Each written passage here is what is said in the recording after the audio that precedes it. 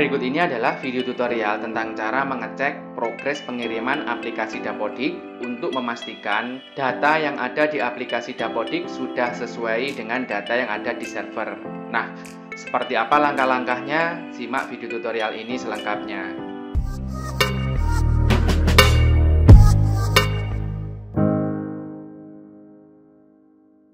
Assalamualaikum warahmatullahi wabarakatuh. Kembali lagi bersama channel Sepatu PS.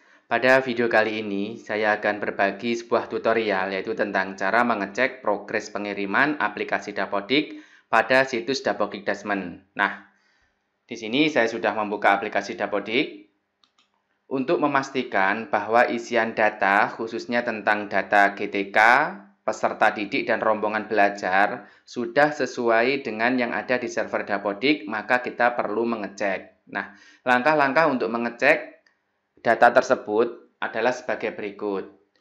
Silahkan Bapak Ibu dan teman-teman buka tab baru. Nah, di sini saya sudah membuka. Di sini saya menggunakan aplikasi browser Google Chrome. Kemudian silahkan ketik pada halaman pencarian kata kunci Dapo Dikdasmen.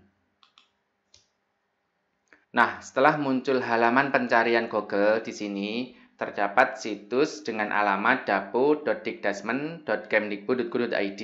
Nah, kita bisa pilih situs tersebut atau kita bisa memilih langsung cek progres pengiriman data yang ada di bawah di sini. Nah, agar lebih jelas, saya mulai dari awal. Di sini saya pilih menu atau situs Dapo Dikdasmen.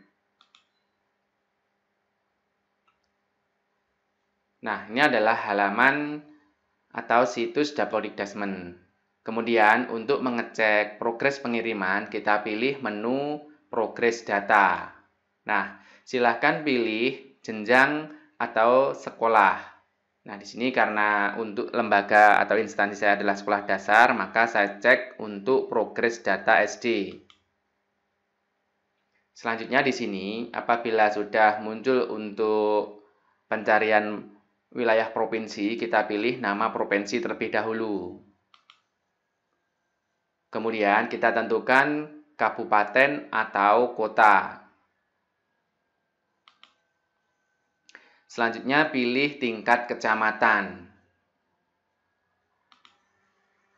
Nah, kemudian silahkan cari nama lembaga, tempat, atau Bapak Ibu mengajar. Di sini untuk lembaga saya, Nah, pada bagian yang saya perjelas di sini, untuk jumlah siswa adalah 109, kemudian untuk rombongan belajar ada 6, kemudian untuk guru ada 7,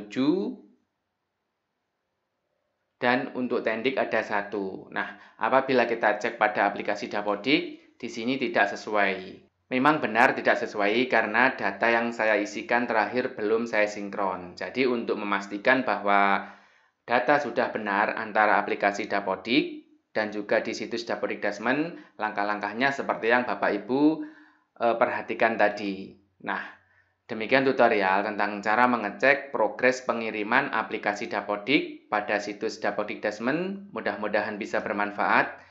Jangan lupa bagi Bapak Ibu dan teman-teman yang baru menemukan channel Sepatu PS untuk klik tombol subscribe dan tanda lonceng agar selalu mendapat pemberitahuan atau notifikasi apabila kami telah update video tutorial terbaru lainnya, khususnya tentang tugas-tugas operator sekolah. Terima kasih. Wassalamualaikum warahmatullahi wabarakatuh.